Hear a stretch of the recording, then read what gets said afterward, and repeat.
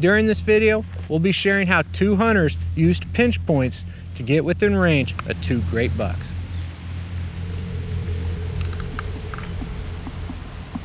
Hunters may use one or a combination of things to get within range of deer, such as terrain, water sources, a scrape, maybe an old fence gap and a barbed wire fence, or other things that increase deer activity at a specific location. Finding and effectively hunting pinch points or bottlenecks is a great way to get deer within range and to tag more venison for the freezer. If you'd like to learn more about deer behavior and hunting strategies, make sure you subscribe to the Growing Deer channel so you're notified each time we release a new video. Today is Saturday, November 19th. Uh, this is the opening day for Wisconsin's nine-day gun season. The first hunt I'd like to share is from Matt Opright, hunting in Wisconsin at the family farm during the opening weekend of firearm season. I got the truck all unloaded, um, ATV's ready to go. I'm Gonna drive probably about three quarters of the way, um, get the stand and sticks, uh, get everything on my back, and we'll slip into this spot here and Stand set up and see what the uh, morning brings. It was a cold, snowy morning, but Matt had positioned himself at the right location. He saw a lot of deer.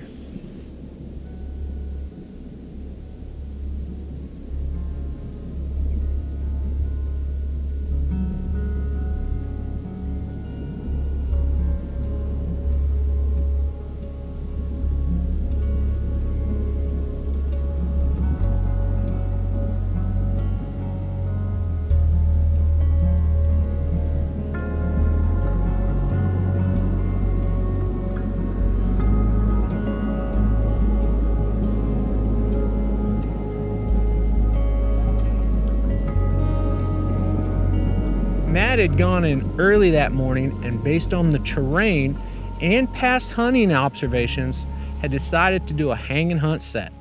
You can see on HuntStand's 3D map that Matt was hunting a hardwood travel corridor on a ridge top, but there was a steep slope off to the east.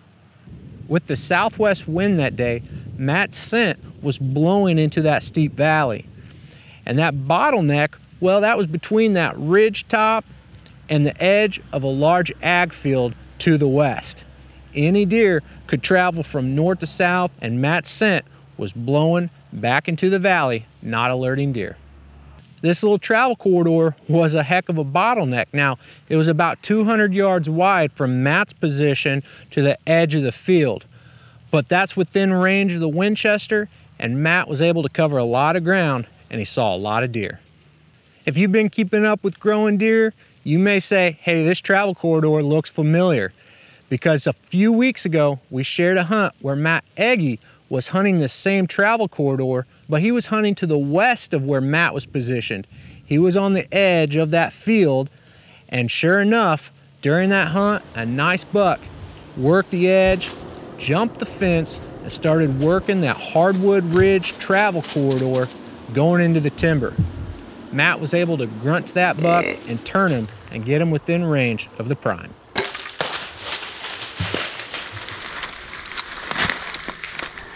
Due to the wind and the time of year, Matt Opright had decided to hang further to the east.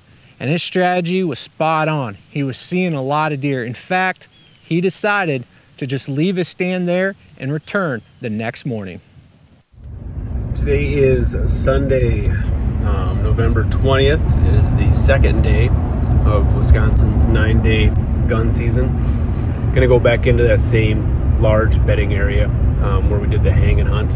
Um, I left that set there. It was another cold Wisconsin morning, but Matt warmed up quickly when he spotted a doe with a nice buck behind her.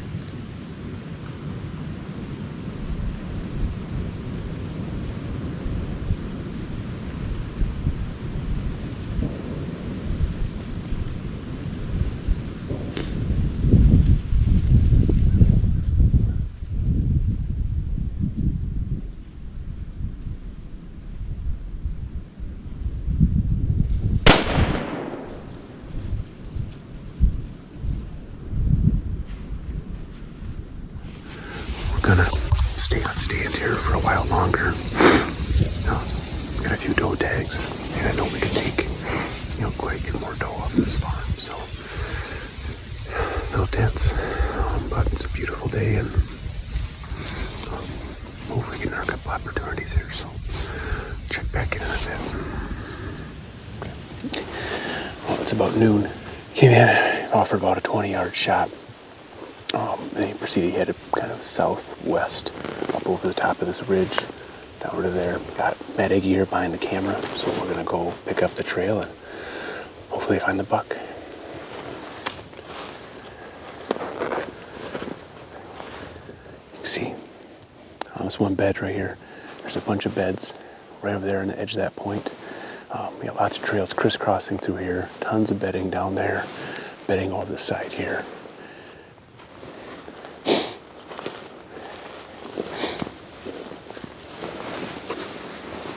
Hey, it's right there, buddy. See, oh, hey, let's go. Great. That two's a big split. Really big twos. That's nuts. Look at that, huh? That's awesome. Congratulations, Matt, on another great buck. If you haven't watched Matt's recent bow hunts, be sure to check them out at the link in the description as he tagged a big old Iowa bruiser and another Wisconsin buck with his bow earlier this fall. It's a great day.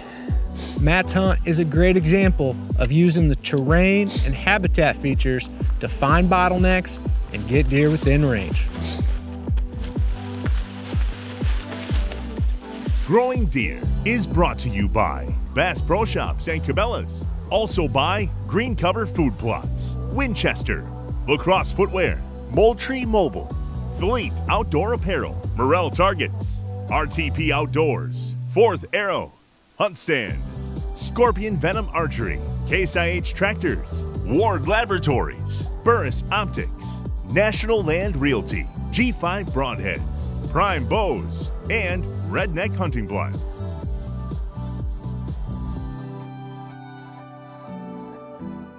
Team member Micajah Gones also knows the importance of bottlenecks, not only for hunting, but scouting locations where he hunts in eastern Kansas.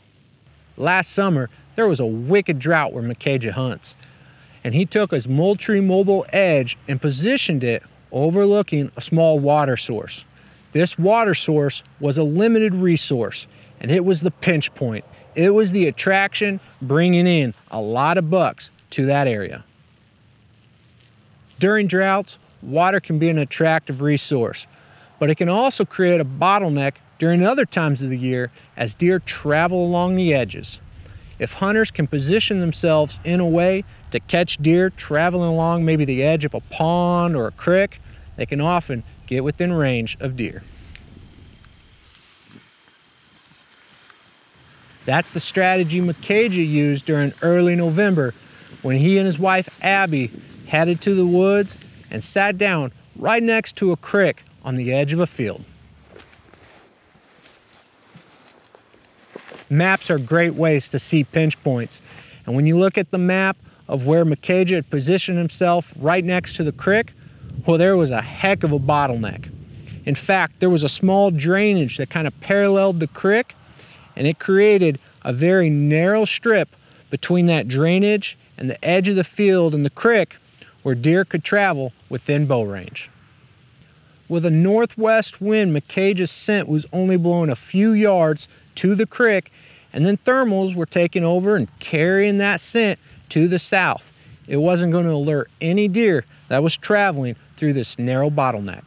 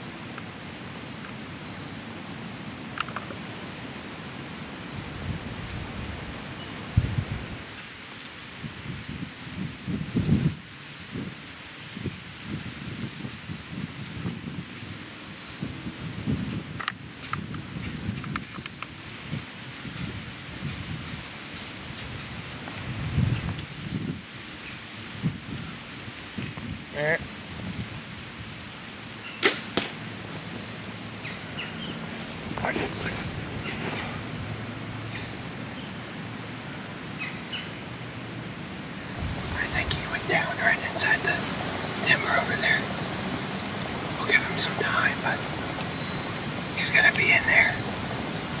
Um, I'm excited. it's, it's a big eight point. It's a really, it's a really nice buck. Old deer. So really excited. I called my dad. At dark, Micajah took up the trail, but he didn't have to go far. That buck had only crossed the field and expired in the timber on the other side. He did.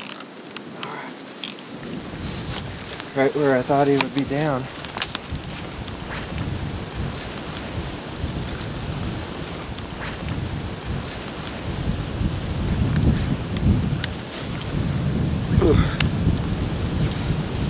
Nice big heavy eight. It's a beautiful old mature buck.